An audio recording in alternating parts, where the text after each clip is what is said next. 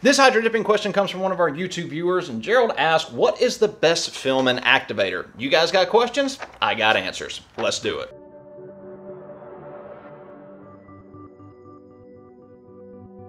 So, what is the best film and activator? This one's easy. None of them.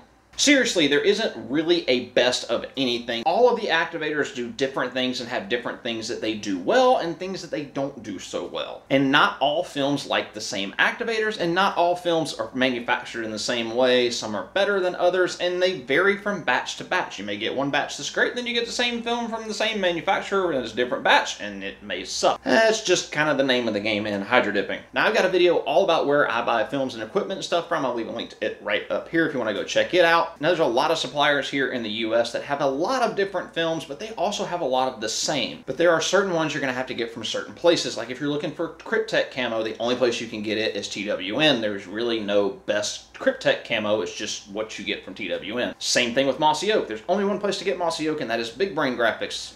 And that's what you get when you get it from them. There's nowhere else to buy it from. But other patterns that are more universal, like black marble and American flags and stuff like that, they sell that at a bunch of different suppliers because it all comes from the same place, probably overseas. And I have bought these patterns from different places and they all seem to be about the same quality. So this one's pretty easy. Buy film from wherever you want to buy film from. But buy a bunch of different activators from different companies because you never know what film is going to like what activator the best. And I'm sorry if you were given a market gimmick and somebody told you that their activator works on everything. Yeah, it may work on everything, but does it work the best and give it the best coloration and the best dipability?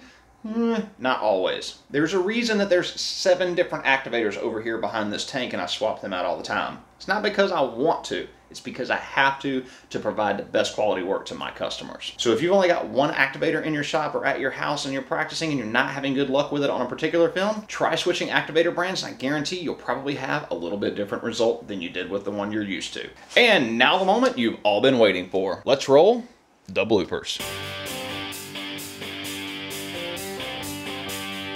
So this hydro dipping question comes from of our, one of,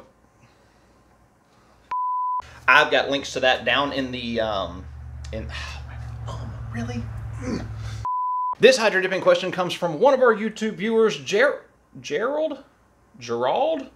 Gerald. Gerald. I don't even know why I try anymore. I can't get it. Why do y'all gotta have such difficult names? I've got link to that down in the link to that. I've got link to that. I've got link to that. Gerald. Gerald. I think it's Gerald. I think it's Ger Gerald. Yeah. Ger We're just gonna go with the last name Tuck.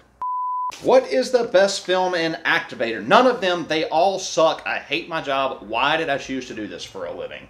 It's so frustrating. I hope that's Tuck, not Took. Took would be with a O. Tuck is with a U. Why? Why me? Activator. This one's easy. None of them. I totally just littered in my shop. I'm gonna have to bend over and pick that up. I already have a bad back. I don't need to be bending over like that. oh God. Gerald Tuck. Gerald Gerald Tuck. Your name is now that guy. That guy on YouTube commented on the video, and that's what I'm answering today.